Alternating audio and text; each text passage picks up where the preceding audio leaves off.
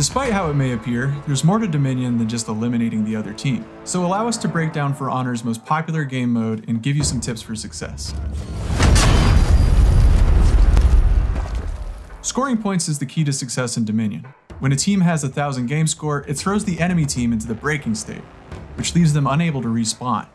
Defeat all your opponents in breaking, and you've won the game. The actions you take to increase your team's score also contribute to your personal renown, capturing points, killing enemy heroes, and killing minions. Renown is how you earn points toward your hero's feats, so these actions give you game score to push your opponent into breaking, plus unlock your feats sooner, which will provide a huge advantage in your future fights. The most efficient way to push your opponent to the breaking state and unlock your feats is the minion lane, or Zone B. Through controlling B and farming the minions there, you put yourself in the best position to win. But a hero can't heal in that zone, so they can't stay there forever. You need to heal in one of the other zones to stay in the fight.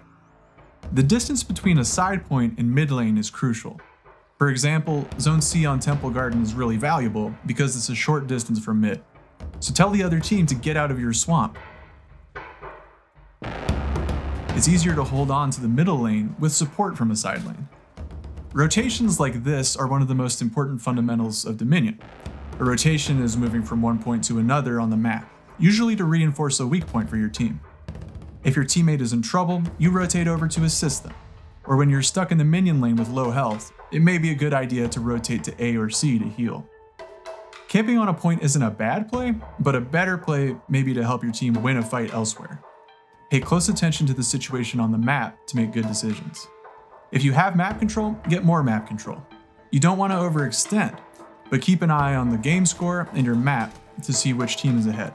This is a good way to quickly gauge where your teammates are contesting for control of different areas.